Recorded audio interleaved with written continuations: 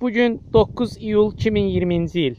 Goranboy rayonunun Qazanbulaq qəsəbəsinin nasosxanasındayıq.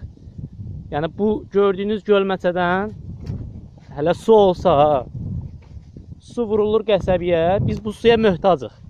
Hal-hazırda nasosxana işləmir, çünki arxda su yoxdur. Yəni bu gölə indi dünəndən, sıraha gündən gəlib yığılan sudur, davamı gəlmir. Su kəsilib. 15 gündən sonra bu günlərin bizə su gəldi. Yəni Qazanbulaqda 5 dənə xətt var. Bizə gəldi. O demək deyil ki, bütün Qazanbulağa su gəlib. Hələ də su gözləyən xəttlər var. Bu da suyun başladığı yerdir. Yəni bu ambara töküldüyü, gölməçəyə töküldüyü yerdir. Baxın, burada da su quruyub.